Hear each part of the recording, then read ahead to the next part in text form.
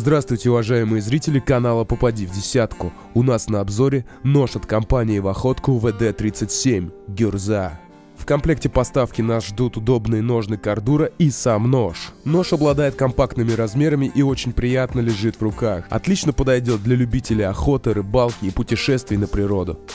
Длина клинка составляет 149 мм, ширина 32 мм, толщина достигает 4 мм. Общая длина ножа равняется 267 мм. Клинок изготовлен из стали марки 65Х13. Этот сплав обладает высокой устойчивостью к коррозии, а также высокой жаростойкостью. Твердость клинка достигает 55 HRC, что соответствует требованиям к подобному типу ножей. Клинок имеет классическую форму с прямым обухом. Также для снижения веса на нем имеются долы. Рукоять выполнена из дерева, покрытого лаком. За счет этого нож не только отлично лежит в руке, но и прекрасно выглядит. Приобрести этот нож вы можете на нашем сайте, ссылка в описании к видео. На этом у меня все. Не забудьте поставить лайк и подписаться на наш канал. С вами был ваш интернет-магазин «Попади в десятку».